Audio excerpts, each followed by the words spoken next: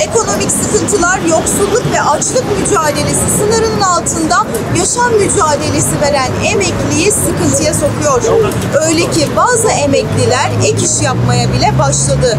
Biz de bugün sokağa indik ve dar gelirli emekliye mikrofon uzattık.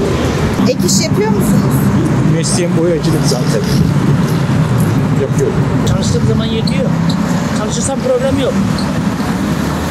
Ama ve lakin son 20 senede özellikle 2010'dan sonra emekliler gerekli zamları almadı ve mağdur oldum. Ee, çalışmak zorundayım çünkü emekli maaşım yetmediği için çalışıyorum. Geçim hakikaten zor. Önceden senede bir şey ürün pahalı olurdu. Şimdi her şey pahalı. Bak net rakam söylüyorum. 2022 Nisan ayında kanadı 30 liraya almıştım. Bugün 175 lira. 2022 Ekim ayında kuzu butun kilosu 76 liraydı. Bugün 540 lira.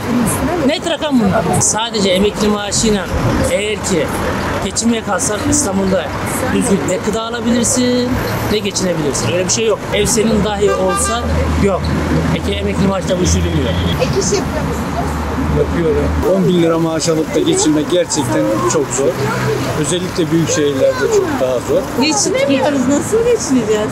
Aldığımız emekli maaşı yeter mi? 10.338 lira. Millet memnunsa ben de memnunum. Ek iş yapıyor musunuz? Hayır zaten çalışmasanız emekli maaşlarıyla bu ülkede geçinemezsiniz. O yüzden e, emekli maaşları artık komik rakamlarda olmaya başladı. En azından bir asgari ücret seviyesinde olması gerekiyor. Peki ek iş yapmasak şu anki şartlarda geçinebilir miyiz?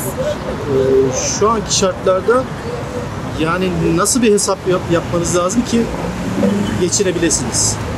Zannetmiyorum. Böyle bir hesap yok. Kendimden ziyade insanların çok zor durumda olduğunu görebiliyorum. Bilemiyorum nasıl bir çözüm alınacaksa orta vadeli, uzun vadeli bir plan yapılması gerekiyor. Özellikle de büyük şehirlerde. Hele Anadolu kısa böyle bir derece bu şehirde yaşama şansı kalmadı. Yani ben şunu açık. Belki kirada olsaydım bir saat dahi bir bu şehirde kalma şansım olmazdı. Eskiden çok daha iyiydi durumumuz. Her geçen gün daha kötüye gidiyor. Emeklilerin hüzün yılı oldu bu sene. Oluyor yani. Yaşlısına bakmayan millet millet değildir.